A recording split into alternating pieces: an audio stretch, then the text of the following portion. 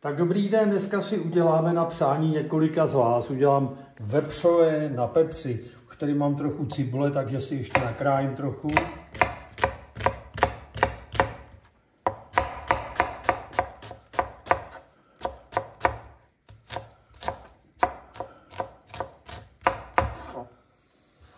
Pak tady mám vepřové maso.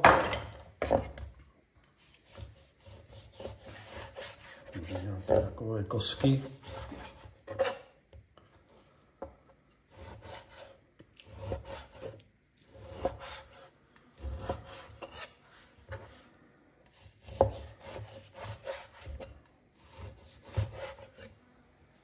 No a teď jsem si takhle rozpálil sádlo, dám na to tu cibulku.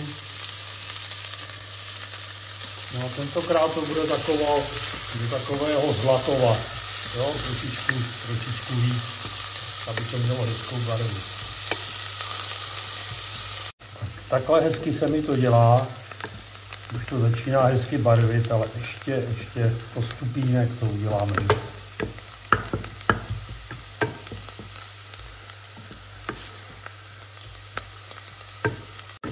Tak já myslím, že takhle už to stačí. Teď tam přidám to maso.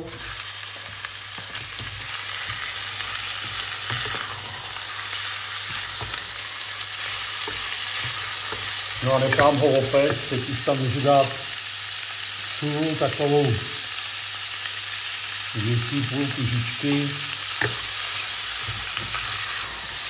No a protože to je na pepři, tak já takhle si ten pepři dělám takhle zvlášť. Samozřejmě to záleží na každým, jak moc to chce mít pepřený. Prostě mělo by to být jako na pepři na pepři, no, takže by tam ten pepř opravdu měl být cítit. Tak já myslím, že pro nás už to takhle bude stačit.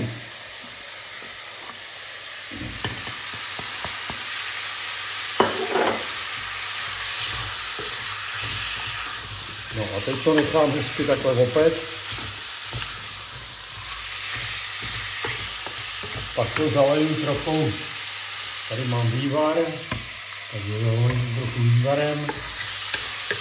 No a nechám to Nechám to pěkně vydusit zase potom, až, až do tuku, zapráším to a tak jako vždycky. Tady ještě chvíli. Takže opečený už to je, takže tam dám takhle půl nabíračky vývaru. To otřu, aby jsme to měli hezký zaklepu si, dám na to pokličku, no a nechám to dusit, až se zase všechna ta tekutina vydusí. Takže se na to takhle podívám, vidíte, už se to téměř vydušuje, už se to začne restovat za chvíli, takže teď už to nedám pokličku na to, no a počkám, až se to všechno pěkně vyvaří. Tak a takhle už se nám odděluje ten tuk. Je to hezky vyrestovaný a ještě jenom, aby to mělo dobrou chuť, tak ještě malou chvíli. Ono to trošku taky změdne, bude to mít hezkou chuť a hezkou barvu.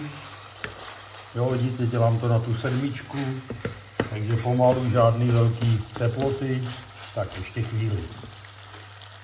No, tak vidíte, takhle už je to hezky hnědé a protože dělám 4 porce a tohle je spíš taková lehká vomáčka, takže tam dám jenom dvě žíčky mouky. Jeden, dva, už jsem to rozsypal, to si tak uklidím, zarestuju, zaleju to vývarem a nechám to pěkně uvařit do měka. Udusit teda tak takhle ono, jak to tam dáte tu mouku, tak se to začne lepit, tak je potřeba na to trošku přitlačit. No ale teď už to bude dobrý, takže to takhle zaleju.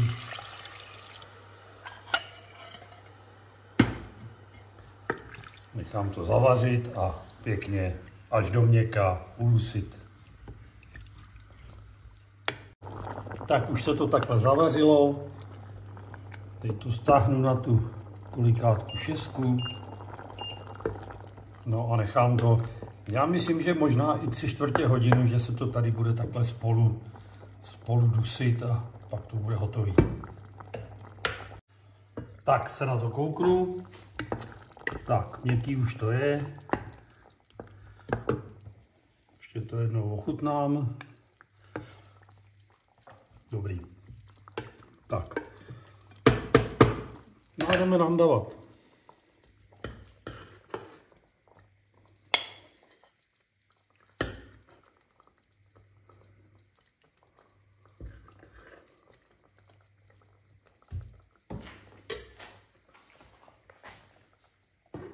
Tak, vepřové na pepři, ať vám chutná jako příloha kedliky, brambory, rajže, těstoviny, krokety, anebo jenom pečivo.